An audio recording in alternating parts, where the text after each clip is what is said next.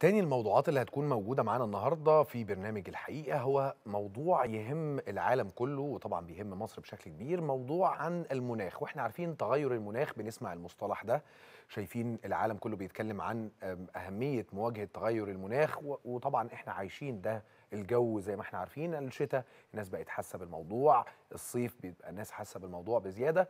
عشان كده الحكومة المصرية بتتخذ المزيد من الإجراءات والبرامج السياسية الجادة وسياسات مختلفة لمواجهة التغيرات المناخية. وطبعا إحنا منتظرين إن شاء الله آه، كوب 27 من جلاسكو لشرم الشيخ.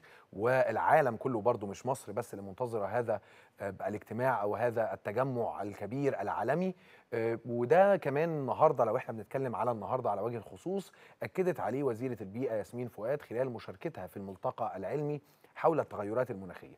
ملف تغير المناخ مصر مهتمة بيه جدا زي ما إحنا بنقول وده بيبان في كثير من المشروعات القومية سواء مشروعات الطاقة النظيفة وغيرها من الكثير من المشروعات وده يمكن إدراك الحكومة المصرية من زمان مش حاجة حديثة إن التغيرات المناخية ليها تأثير شديد جدا على مسارات التنمية المختلفة سواء اللي بتقوم بيها الدولة على حدة في كل آه، أنحاء الجمهورية أو حتى العالم كله زي ما إحنا بنقول لأنها قضية عالمية.